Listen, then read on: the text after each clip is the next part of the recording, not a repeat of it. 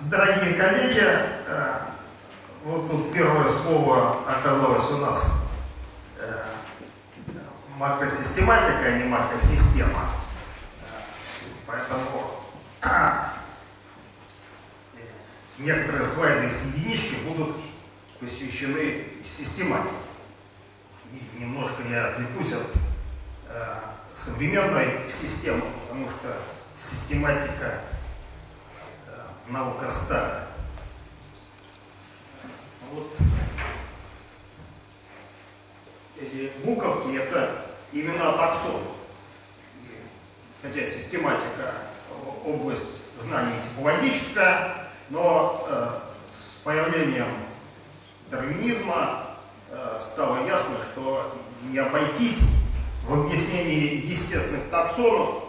Это ведь таксоны, эти буковки это таксоны, не обойтись без э, понятия эволюции. И хотя сейчас мы понимаем, что э, таксоны, которые тянутся сквозь время, с ними работать невозможно, что таксоны перпендикулярны времени, таксоны это только свет филогетического дерева, но основание то, что мы теперь не можем после э, 859 года заниматься систематикой вне эволюции, это вот стало просто таким фактом. А, конечно, мы должны понимать, что э, задачи э, систематики как, э, как, как части типологического мышления отличны от задач филогенетики. А, на этой картинке нам безразлично, высшие растения здесь с харовыми группируются, или с калиофетовыми, или с дигневыми, оставим это в стороне. Э, пусть они группируются с, любой, с, любым подтаксоном водорослей. Но тогда, исходя из требований монофилетической системы, нам надо эти водоросли с высшими растениями разбить вот такой таксон э, э, создать, вот, например, такой таксон, и диагноз такого таксона, может быть, станет беднее, чем вот такого таксона, если, если этот таксон поддержан большим числом симплизиоморфий, а мы их отбросим, может быть, э, есть, конечно, признаки, которые объединяют высшие растения с, каким, с каким-то сестринской группой, с ближайшим родственником. Но клатистика нам говорит, здесь может быть единственный признак, может быть один нуклеотид. На самом деле, конечно, мы надеемся, что их больше, но может быть это один нуклеотид. И если мы построим логически правильную, безупречную монофилетическую систему, она может с точки зрения требований э, типологии быть неудобной, бедной, э, потому что диагноз, э, диагноз станет более бедным, то, чего, нас, то, чего от нас требует и систематика, создать наиболее краткое, наиболее полное описание действительности в системе. Мы потеряем. Ну и надо понимать, что ближайший родственник может оказаться очень не похож. У него будет, конечно, признак, какой-то синапоморфия может быть единственная. Поэтому этот родственник будет скрытым родственником. И понятие криптофильных, скрытых, скрытых родственников, криптофильных таксонов, которые э, Владимир Степанович Щупов предложил, оно вот связано с современной системой. Э, значит, построить логистическую, безупречную логическую систему, мы, может быть, не ответим на какие-то важные вопросы, эти вопросы важные и содержательные, но они находятся за полем современной систематики. А, значит, и дарвиновские идеи сразу получили поддержку, а, и вот это вот дерево, даже скорее морковка, а, ну, идеология методический арсенал, который использовал Геккель для построения этой морковки, как бы пропагандирующийся метод тройного параллелизма, э, он, он с самого начала не был методом тройного параллелизма, ну и мы далеко ушли. Вот там, видите, человек, у него тоже деревце э, на вершине морковки Геккеля, э, конечно, конечно, европейская раса, конечно, конечно, германская нация, которая дала миру э, Гёте, Шиллера, э, профессора Геккеля. Но мы сейчас ушли э, от такой системы.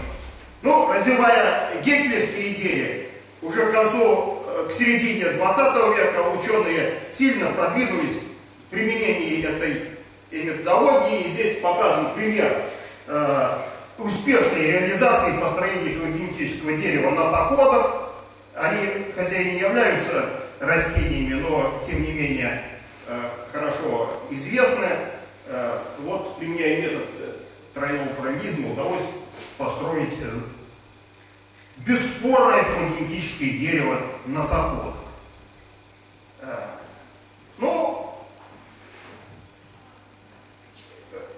в тот момент э, монография о носоходках вышла в 50-х годах, но в 50-х годах э, происходила деятельность еще двух замечательных ученых.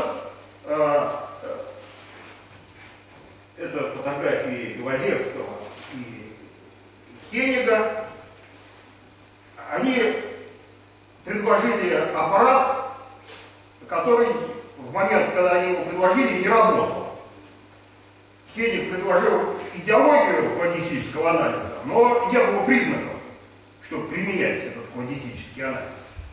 А Глазерский первым понял, что э, филогенетическая система будет основана на э, материале, полученном из изучения ДНК. Но да не было методов изучения ДНК, других как определения нуклеотидного состава. Глазерский первым организовал группу, в организационном плане был первым, кто начал систематически изучать э, ДНК для построения, э, ну, для изучения эволюции. Хеник был в Германии, а э, Белозерский в Москве. Ему незнакомо было, был понятийный аппарат Хенига. Хенигу не было, не было не, не был знаком Белозерский с его идеями про ДНК, а а у самого Белозерского была только идея, что ДНК нам поможет понять эволюцию, э, ну, филогенетику. Э, но не было инструментов тоже молекулярных. Ну и эти инструменты появились только сейчас. Я надеюсь, что э, Наталья Вадимовна э, нам расскажет о том, как э, филогенетика, филогеномика в, с, с хениковским квантистическим анализом приведет к построению в ближайшее время филогенетической системы. Э, приведет к построению филогенетической системы. И это будет завершена часть науки. Э, мы знаем, мы вот видели отцов основателей филогенетики, и на нашей памяти будет конец этой науки. Обычно науки бесконечны и систематика бесконечна. Потому что систематика должна группировать, описывать все знание, а с каждым новым инструментом, который изобретают ученые, все больше и больше наши знания расширяется. Не было электронного микроскопа, не, было, не были доступны какие-то структуры. А, и систематика поэтому бесконечна. Но филогенетика будет завершена, потому что рано или поздно мы установим родственные отношения всех видов. И наука это закончится. А, в случае автотрофных организмов немножко дело сложнее потому что дело осложняется тем, что э, они представляют из себя комбинацию двух организмов. И, и это э, Геккель писал, он писал, что хлоропласты, они похожи на манеры. Манеры в корне дерева жизни. И, а хлоропласты, они как манеры, они по размеру как манеры, они делятся как манеры, они окрашены равномерно как манеры, и я не понимаю, почему э, Геккель не считает создаванием теории симпиогенеза, наверное, потому что германскую расу считал в, вершине морков. А, но а, другие замечательные ученые тоже участвовали в создании симбиотической теории. Э, вот Андрей Сергеевич Фомицын, например, он, он открыл лишайники и понял, как они организованы. Он открыл э, автотрофных симбиотов радиолярий э, и понял, как эта система работает. Ну и он э, предположил, что все фото, фотосинтезирующие организмы, они имеют такое, э, такое вот гибридное происхождение, как, как колесники. Ну потом Клиффорд Саймон писал, что всякие твари встретились авторов в межзвездных пространствах, но вот только колесники самые странные, которые внутри живут другие. А то, что это реальность земная, это вот Клиффорд Саймон не знал. Э, ну, что надо сделать в этом случае? Надо построить отдельно филогенетическую систему хозяев и их эндосимбионтов. Это понятно. Э, вот благодаря своим фотосинтезирующим эндосимбионтам кораллы э, создают, создали, и в прошлые времена создавали, и сейчас создали, 2000-километровый большой барьерный риф, острова в океане, это потому что в них зооксантеллы, симбиодиниум, динопагеляты живут. Мы отдельно можем классифицировать кораллы, отдельно можем классифицировать симбиодиниумы, их симбиотические. Ну и всякие другие э, животные, э, которые несут э, зооксантеллы, фототрофных симбионтов, например, черви конвалюты, симпсогетифера раскопери, она червячок лишен рта. Понятно, что он живет только за счет эндосимбионтов.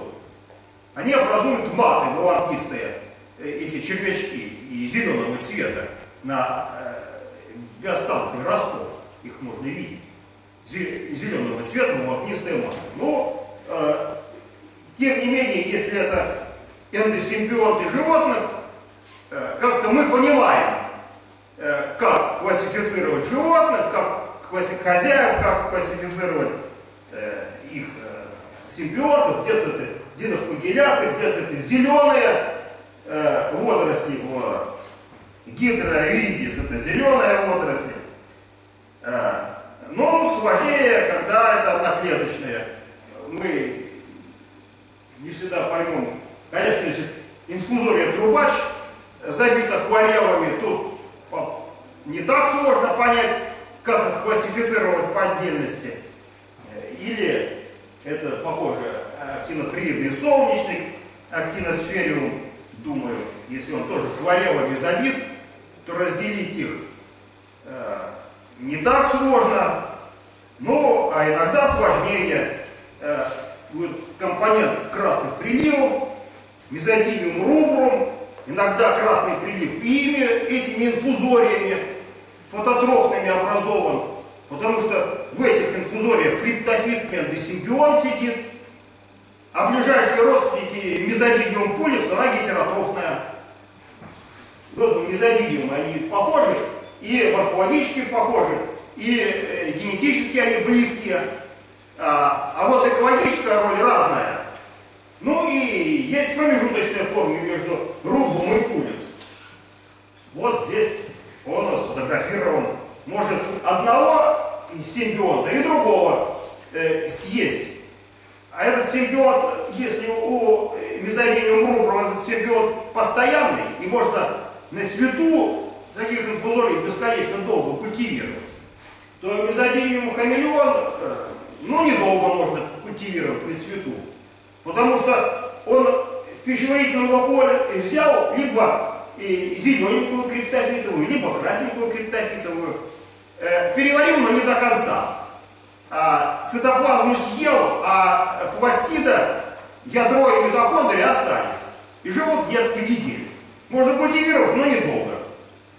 Ну, а сам-то криптофитовый э, э, эндосимбион, это ведь все знают, что это матрешка, что внутри загадочного хозяина криптофитового находится, э, ну как, недопереваренным не назовешь, но вот находится родофитный симбионт, красная водоросль, с рудиментом ядра, вот в этом ядре три хромосомы, этот вот бонзайный геном э, родофитного эндосимбионта секвенирован, э, ну и вот это вот э, в этот криптофитный симбионт, он, значит, оказывается эндосимбионтом мезодиниум рубру. Ну, вот такая довольно сложная э, история формирования сложных э, вторичных, третичных, четвертичных э, симбиозов. Э, и Вот на этой картинке показано, что а, здесь уже двойка стоит. Вот тут это единичка, это все уже все знают. А вот тут уже двойка. А оказывается, у нас и есть в нашей стране, хотя нет пророка в своем отечестве, но есть в нашей стране специалисты, которые разобрались в истории этих симбиозов, и вот можно почитать их обзоры. Э, я немножко расскажу о том, как живет э, фототрофный гриб. Э, конечно, говорят, вот э, диосифон, но лишайник. Лишайник слова. А реально-то как этому лишайнику, так называемому лишайнику диосифа, э, вырасти? Для этого молодой гриб, проросший, он в этой почве, где он в темноте, он должен найти, э, найти нос такой, цианобактерию. Если он найдет, то он ее проглотит, хотя грибам глотать трудно, у них э, тело покрыто клеточной стенкой, но он тем не менее проглотит ее, поместит в паразитоформу во плоть, и тогда в таких бактерия вызовет морфогенез. Он превратится, хозяин, в такую колбаску черненькую, э, лишайник. Ну, что там говорит слово лишайник? Ничего не говорит. А вот то, что это результат морфогенеза гриба, индуцированного энтосимбиотической бактерией, которая находится в паразитоформе в э, И другой пример эндосимбиоза. Э, криптофитовая катаплифорида, то есть так, когда криптофитовая, у которой нет постоянного родофитного симбиота. Э, криптофитовая хотела Николя несет в своей клетке э, зеленый водоросль нефросельность. И поэтому вполне процветает, то есть, прошу прощения, не процветает, но э, вполне существует за счет деятельности э, эндосимбиота. Но пришло время делиться, клетка хозяина поделилась, а эндосимбиот только в одной из дочерних клеток. Второй дочерней клетке надо нефросельмиса искать заново. Какой угодно не подойдет э, симбион, надо нефросельмиса искать. В этом отношении автотрофной раковинной амебы Паулинева э, задача облегчена. У нее эндосимбион бактериальный сидит постоянно. Э, при делении не надо заново его в природе искать.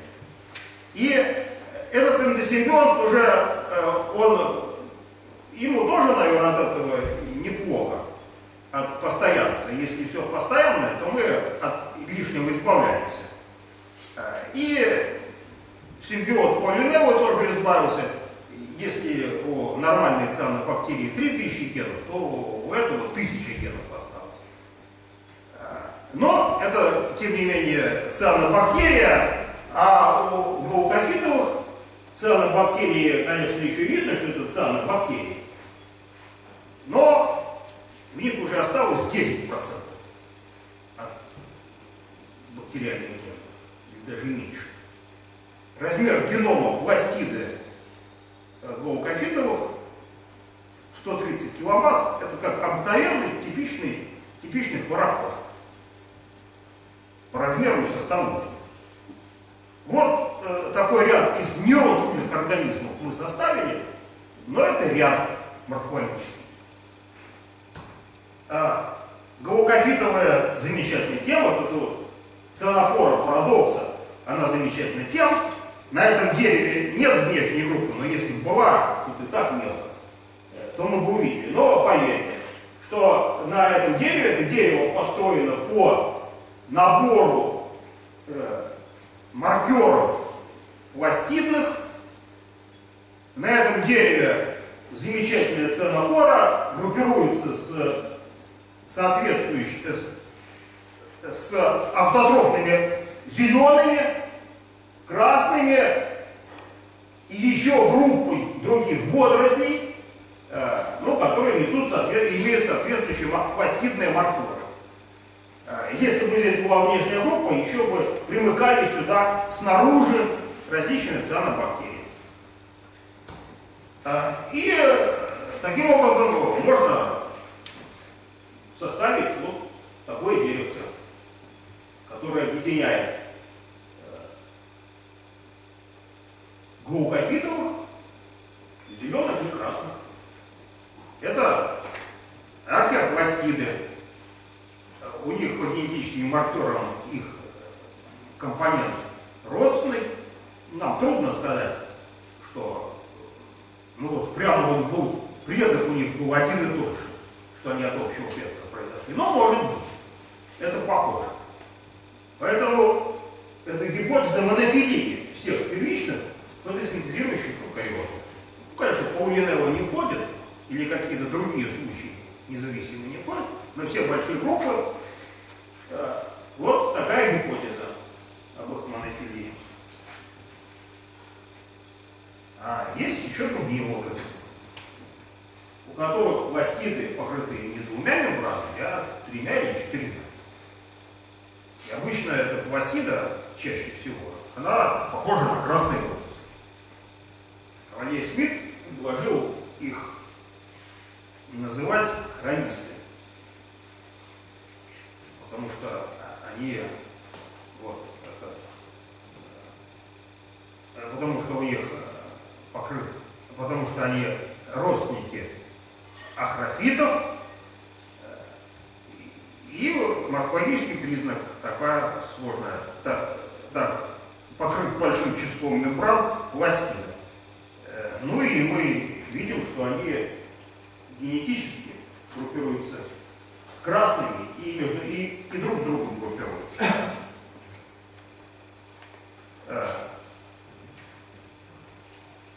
И эта гипотеза хромиста, она в течение многих лет оказывается такой очень важной. Сначала хромисты, гипотеза хромиста, потом гипотеза хромальвиоля, гипотеза монофилии, э, после того, как э, стало ясно, что апикопласт, э, рудиент пластиды альвеоля удобно вписать в общую схему, то, по сути, для всех, почти всех автотрофных организмов можно представить общего предка. Но эта гипотеза в настоящее время, мы ее должны отвергнуть, она не подтвердилась. А, хронисты или хромальвиоляты, несуществующие хронисты или хромальвиоляты, происхождение можно представить так, что гетеротрофный хозяин поглотил уже э, фотосинтезирующего эвкариота, э, либо красную водоросль одноклеточную, либо зеленую, э, в случае, э, в отдельных случаях.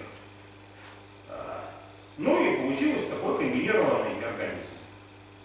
Если при этом происходит массированный перенос генов в ядро окончательного хозяина, а он происходит, если он совсем массированный, то никогда не расшифруем историю этих симбиозов. Но насколько он массированный, это вопрос, который нуждается в исследовании. И это статья менее чем полугодичной давности. А, сейчас мы получаем инструменты э, к тому, чтобы это исследовать. Э, подробно об этой работе я рассказывать не буду выглядит картинка из этой работы страшно. Ну и потому что э, сама работа страшная и нечеловеческая. Если систематика, к которой мы привыкли, она должна быть рациональная, мы должны дать диагноз. Мы, если говорим слово глаукофитовое, у нас за этим сразу образы возникают. Мы что-то можем рассказать. А если это будет слово диатомовое, мы об этом еще больше можем рассказать. Мы можем очень много рассказывать. А вот эта картинка получена из анализа одного миллиона эвкариотических генов по 55 полным эвкариотическим геномам и 6 миллионам прокариотических генов. Из этих миллионов генов отобрано 2500 кластеров по определенным правилам. И каждый кластер представлен черточкой. А, и это рационально представить э, в человеческих мозгах, ну, в моих, по крайней мере, я не могу представить. А, мы уходим от рациональной систематики, которая была, она систематика была рациональная, это что значит рацио? Мы, мы понимаем, мы говорим диагноз, мы понимаем. Теперь э, новая наука такая, что ничего не понимает.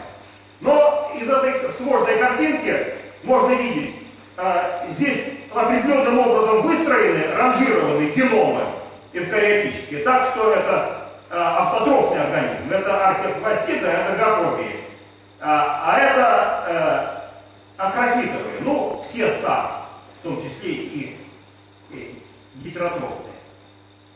И видим, что сгущение кластеров происходит только в этом месте прокариотических. Это те гены, которые были перенесены в эвкариоте. А, из этой сложной работы следует вывод, что а, переносов, горизонтального переноса генов из прокариотов в эвкариоты было не так много. Вот случай пластид, мы его можем детектировать. Случай митохондрии, несомненно, был, но мы его на этой схеме, э, этом, на этом сереньком фоне, мы его не можем детектировать. Второй случай, который мы можем детектировать, это сходство архейных, архейных генов с эвкариотическими. Э, то есть горизонтальный перенос, о котором сотни статей, он, конечно, происходит, мы его можем детектировать. Но его роль может быть не такая большая, как можно было бы судить, потому что сотни статей про горизонтальный перенос и нет статей про вертикальный перенос. Потому что кто же будет публиковать статью, что мы обнаружили вертикальный перенос. А вот то ли дело, что мы горизонтальный. Но роль вертикального все-таки побольше. Э, ну, я больше на этой работе не буду останавливаться, тем более чересчур сложная. Э, и э, теперь перейду с систематикой будем заканчивать и переходить к системе.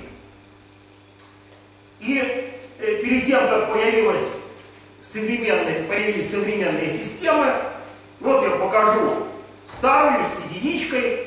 Э, эта система в конце 60-х была предложена Уиттекером. Она также далека э, от современной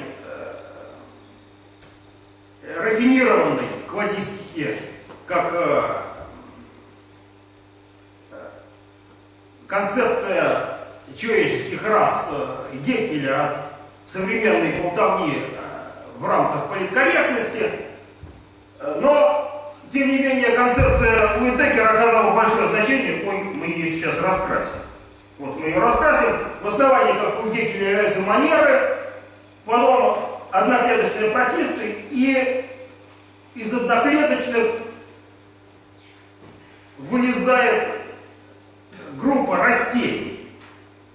Вот вклад Уитекера э, был важен тем, что он показал аудитории, э, что эти царства животных и растений, они имеют корни э, в среди одноклеточных, и корни эти мочковатые. Вот здесь к растениям хлорофиты еще вроде бы и не растения, потому что они одноклеточные. А вот растения, красные водоросли, э, бурые водоросли, они многоклеточные растения. И вот такая нелепость, э, нелепость э, схемы Уитекера, это тоже неплохо, когда нечто нелепое. На это, за это можно зацепиться, об этом можно думать. А это вот современная схема, которую уже нелепо не назовешь. Это из э,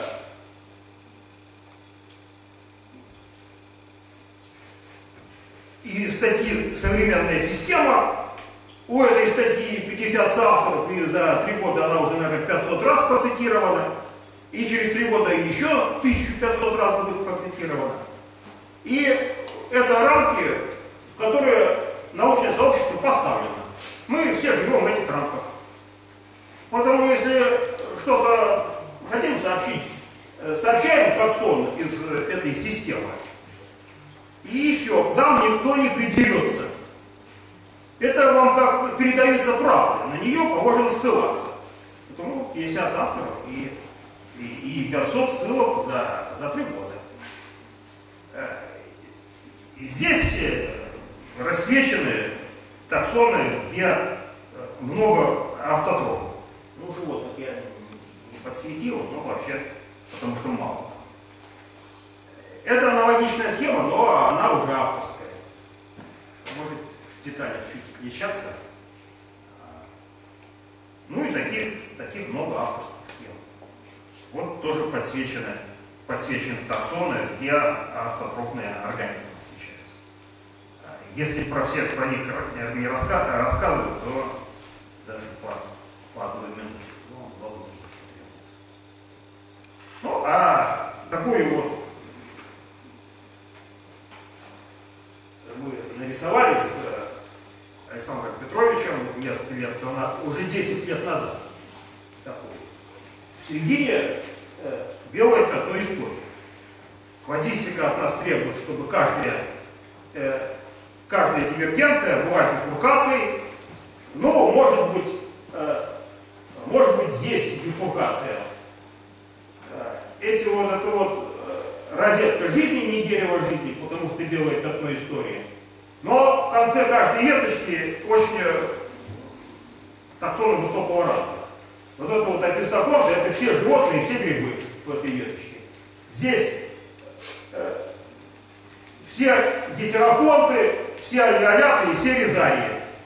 Э, фораминиферы, радиолярии, малярийные плазмодии, э, ламинарии, фугус, диатомовые, все в этой, в этой маленькой веточке. Но какие-то веточки, может быть, э, представлены не таким гигантским числом но они столь же большие сущности в рамках филогенетики, как и перечисленные выше. И может быть, на самом деле, здесь проходит э, корень, потому что животные и лобозные амебы сохраняют примитивное состояние, по крайней мере, по одному признаку. В организации генов синтеза э, пиримидинов, гены тимидевать, синтазы и дигидрофуат, редуктазы у них по отдельности, они выполняют разные ферментативные реакции, находятся в разных местах.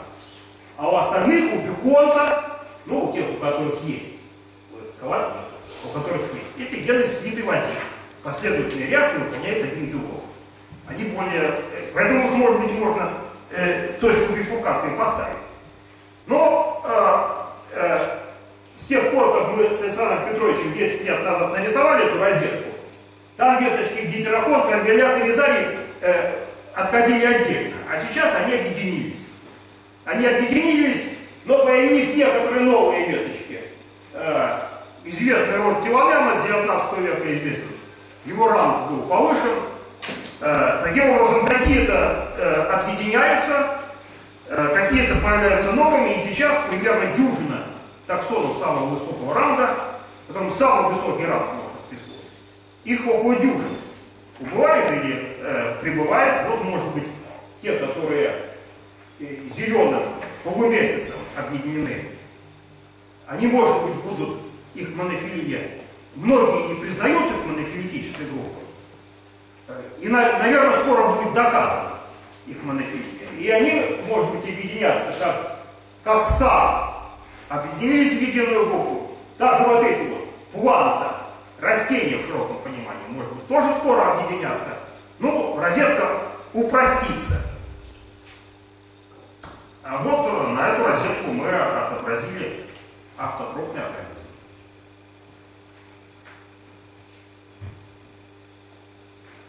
И теперь я расскажу, постараюсь, про отдельные группы на этой розетке. Вязание. Это гетеротрофные почвенные жгутиконосцы, циркованады или таутомонады, которые были открыты, описаны как таксон ранга отрядов барки. А, это радиолярии, фораминиферы, некоторые раковины амебы, десмотороцидные солнечники, э, плазмодиафоровые возбудитель капусты, э, некоторые раковинные амебы с тонкими ножками. В общем, собрание организмов, которым невозможно дать диагноз. И среди них э, паулинелла, фототрофный организм, о котором мы говорили, хорорахнион, э, соединенная анастомозами амеба, которая не ползает, а вот в виде такой зеленой сеточки, хор арахнион, зеленой паутинки живет. И радиолярии фораминиферы, на которых живут диатомовые, вот они, яркие точки подсвечивающие, это э, э, симпиодиниум, диноплагеля, прошу прощения.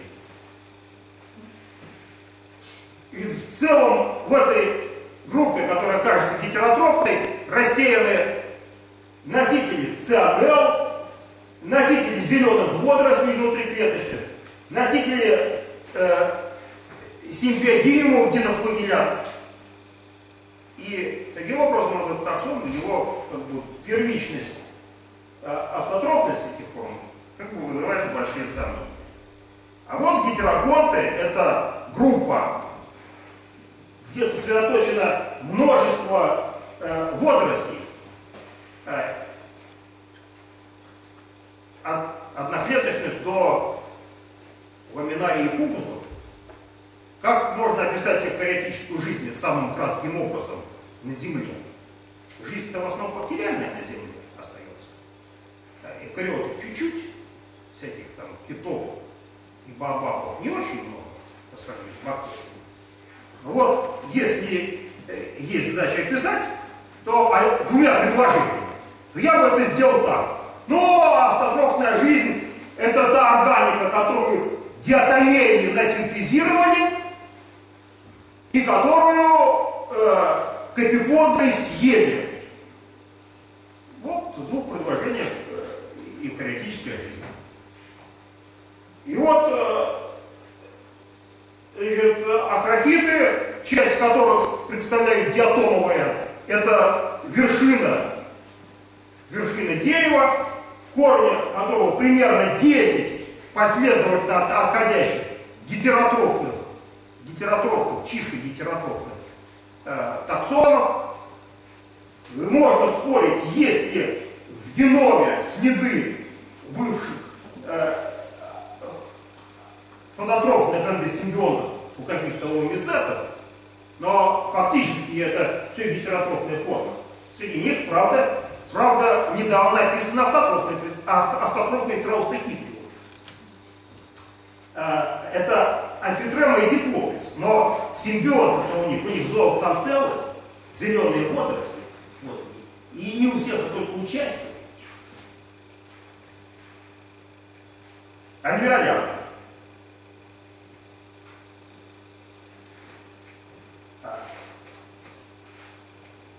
На втором месте после э, диатомовой жизни, э, если мы уйдем из полярных и э, районов в тропики и ближе к берегу прижмемся, в тропических неретических водах диноплагеляты э, составляют основную, основные, основными продуцентами являются.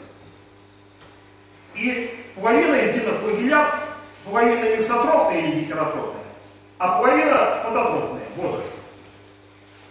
Из этой половины 90% э, несут, здесь нарисовано, причем э, типичную э, динофитовую крединин содержащую пластиду, происходящую от родофита. А остальные вместо крединин содержащей какую угодно или от э, криптофитовых, э, или, э, или диатомовую просто водоросль несут, или даже из зеленых липидогидов. Э, и все бы ничего, все это в случае третичного или четвертичного симбиоза э, представить и описать э, э, можно, но очень соблазнительно представить, что основной э, переденин, содержащий э, компонент, существовал изначально, э, тем более, что у споровиков родственников, родственников динохнуклеат, рудимянцев, рудимянцев пластиды, ну вот, беда, что в основании, в основании мезозоа, споровиков и динохнуклеат, нам надо поместить чисто гетеротрофные формы.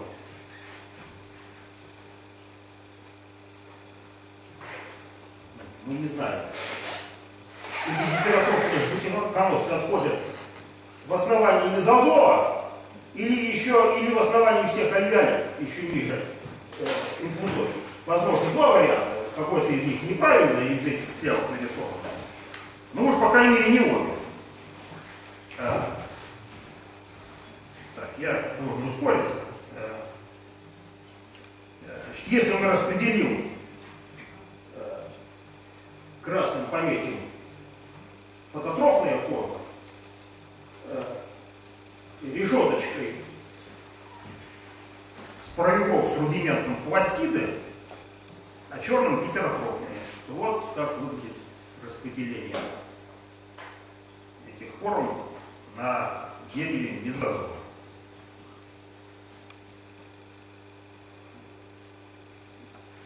Ну и я думаю, что Денис Викторович, он 26 числа после окончания конференции, ну на школе, который, он может быть подробнее, у него на вечер доклад о системе эвкариотов. И он, я думаю, что будет рассказывать о своей недавней работе, о пластидах э, функционирующих или э, перешедших на другие дела не связанная с фотосинтезом альвеолям. Значит, сейчас мы э, перейдем к группам сказать, минорным, если основная фототропная жизнь здесь и здесь была. Вот гаптофитовые, которых перенесли из гетерофона. Они, правда, и сейчас. Это ламарш из спутника, а это белые, белые разводы, это и белый прилив, гаптофитовые. Э, они вот такие остаются массовыми и, э, и важными, и э, диметилсульфид, который они делают, это основание для конденсации пара и дальнейших облаков и дождя. Без них, без э, гаптофитовых климат сильно изменится. Но все-таки в основном гаптофитовые вот они, где остались. Сколько литофоридами они остались в МИУ. Э, в МИУ они, наверное, были важные, а сейчас самые важные диатомиты. А сколько литофориды продолжают, но в основном они вот здесь. Э, и их, конечно, надо из гетеропон отнести, Э, непонятно куда. Вот это теперь показано здесь как отдельная сущность. А, а еще им есть родственники, которых никто не видел. Они не такие массовые, как гаптофитовые, но все-таки в пробах встречаются. Это отдельная сущность, как мы здесь видим. Э, рапимонады, которых никто не видел. Вот здесь видите рапимонады, всюду пиктограммки нарисованы, а крапимонады не нарисованы. Их э, пикобелефитом тоже не нарисованы, пиктограммы. Вот эти группы остаются, остаются пока что загадочными. Их точно не, мы не можем приделать. Потому что данные противоречивы. То ли их надо объединить между собой, то ли объединить, но это розетка, это не дерево жизни, не морковка, а это розетка. Розетку мы должны исправить. Но эти группы, которые пока что э, самые сложные для исправления, пока что не поддаются исправлению. Вот мы здесь видим вариант, на котором э, объединены они криптофитовые и гаптофитовые, как рофи. А фигобелефиты э, пунктирчиком рядом нарисованы. Красные линии это предположительно э, фототропная образ жизни. А синяя граница – это утрата э, симбионта. Но автор статьи Киллинг, он с большим трудом преодолевает концепцию хрониста и хромальяля. Поэтому ему хочется нарисовать э, предка, фототропного предка. Ему некомфортно э, гетеротропа поставить в корень. Но вот прошло от этой статьи, это, наверное, девятого года статья, а, а вот это вот какого? Двенадцатого. Прошло три года. Статья называется уже «Гакропия не монофилитичная». Вот на этом дереве э, они распались. Но если мы посмотрим, то все индексы небольшие. Вот те таксоны, которые э, два слайда назад я обвел кружком, они остаются проблематичными. Это при том, что э, точки означают полные геномы. Полные, но полные геномы есть, но мы их еще анализировать в полной мере, эти полные геномы, не можем. А, поэтому из этих полных геномов какой-то пул генов вытащим. Но самое проблемное это э, центрохелиды, телонемиды, э, пикобилифиты и где? Э, в тот момент еще гаптофитовых тоже не было генома секвенировано. Они продолжают оставаться малоизученными. И последнюю историю, которую я расскажу, это пикобилифит. Э, статья из которой эта картинка взята, называется «Взлет и падение фитобенефитов». Как предположительные автотрофы были разжалованы в гетеротрофы. А, на этих четырех панелях четыре гипотезы о положении фикобенефитов. Фикобенефиты – это массовый компонент микроскопического планктона, самого маленького пика планктона. А, и вот если их взять, то там найдутся и выделить ДНК из планктона, э, распланировать, секвенировать отдельные клоны, там найдутся клоны, которые занимают изолированное положение, пикобенефиты. Почему они так называются? Потому что если сделать зонд на этот ген специфический, прогибридизовать, то можно увидеть клетки, точечки. Точечки в пробе, с которыми гибридизуется э, флуоресцентный зонд. И если эти точечки как-то э, еще поподробнее рассмотреть, то видно, что они обладают флуоресценцией, аутофлуоресценцией, такой как красный водоросль. Поэтому думали, что вот эти точечки, 2 микрона, они родственники криптофитовых, и они содержат и эндосимбионта с нуклеонодом, что они родственники криптофитовых. И вот эти вот загадочные пикобенефиты, их 10 лет никто не мог до них добраться. И вот применяли какую технику применяли? Это уже ЦИД современная техника. С помощью клеточного сортера была отобрана одна клетка, 2 микрона. Из нее выделен ДНК из этой клетки и проведена полная геномная амплификация. И после этой полной геномной амплификации уже можно наработать микрограмм ДНК, она была передана на секвенирование, на геномное секвенирование по методике 454, еще было собрано 5 мегабас. Или в другом случае на Illuminu, из которой было собрано 28 мегабас. 28 мегабас это вообще нормальный геном. Ну или, или четверть генома, или 5, или 20% генома, или 10% генома. Ну, целого генома, мы не знаем. И удивительно, что среди этих генов не было найдено вообще никаких белков, которые бы связаны были с фотосинтезом, генов, которые кодировали белки, связанные с фотосинтезом, а, которые можно было бы отнести к пластинам. И была такая загадка. А, а вот еще авторы указали, что некоторые, они специально приумножили, нашли в базах пикобенефитов, которые на афатической зоне, на глубине вытащены. Большинство, если вы увидите, 5 метров, 15 метров, 5 метров, 1 метр с поверхности взяты. Но некоторые с глубины. Э, поэтому подозрение возникло, что они, может быть, и не фототропы. И два года назад поймали первого, изучили, ввели в культуру фитопелихита. Оказалось, что он гетеротроп. А как вы в культуру? Я это показываю ради нижней, фото... на ради нижней картинки. Вот это вот на сортере разделили клетки, эти, которые маленькие, еще они метатрекером были прокрашены на медоходе. Оказывается, мы потом уже видим, сейчас знаем, что большая митохондрия относительно всей клетки. Э, отдельные клетки из этой фракции анализировали на ПЦР с помощью специфических фитобенефиты праймеров.